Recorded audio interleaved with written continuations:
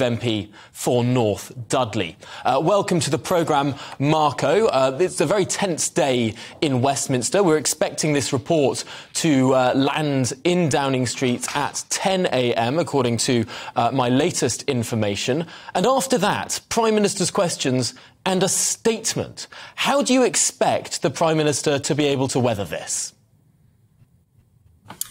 Well, good morning, Tom. And judging by the uh, items you have on your desk, I think I should be joining you in the studio rather than talking to you from my office. Well, I'm um, told this is just think... normal, normal office uh, material, apparently, according to the leader of the opposition and indeed the prime minister. Uh, well, look, come on, Tom. You know as well as I do that the government uh, and the team around the prime minister at number 10 worked 24 7 to save individuals' lives, to save the country, to save businesses, to save jobs. Uh, they were scrambling around over months and months to make sure that we'd got the correct and, and uh, correct amount of PPE. All sorts of things were happening, and staff were asked to do incredible things, and they delivered. And as far as I'm concerned, if the Prime Minister raises a glass to them to say thank you, that does not constitute a party. That is a thank you uh, and he's saluting them for what uh, they have done. Of course, many people will want to say that this is a party, that this, you can see he's got his red box there ready to go out.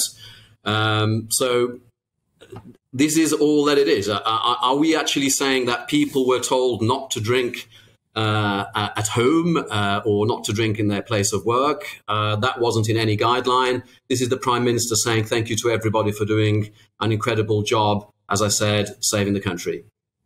Now, I think a lot of people can understand that the Prime Minister would have wanted to say thank you to his staff. Indeed, it was reported in the Sunday Times that very week that the Prime Minister uh, gave a speech uh, in the office of Lee Cain, where that photograph was taken on that evening that that photograph was taken. Although left out in that report, of course, was the alcohol. And I wonder if a significant part of Sue Gray's report, as we saw in the hints of the interim report, is going to be speaking about a culture of alcohol in Downing Street and indeed in Whitehall. Because, of course, these fines weren't just given in number 10 Downing Street, as the impression is often given, but right across that sprawling complex of hundreds of offices uh, around that part of, the, uh, of, of, government property. Uh, is there a problem of alcohol at the heart of government? Well, obviously, Tom, you wouldn't expect me to preempt the report. Uh, I wasn't there at that party. And this is a matter for Sue Gray. All of the information, this is a report, let's not forget, that was commissioned by the Prime Minister uh, in the interest of transparency. So if he really didn't want to uh, let people know what was happening, then he probably wouldn't have done so.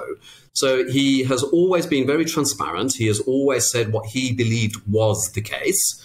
Uh, as to what has happened. And if Sue Gray does come out and describe uh, the culture there, then of course the Prime Minister will take action based on the recommendations from the book. He's already uh, taken action on, on, on the running of number 10, which you quite rightly describe as a labyrinth of many, many, many, many offices with hundreds and hundreds of people working there, something over which the Prime Minister does not have detailed operational control over.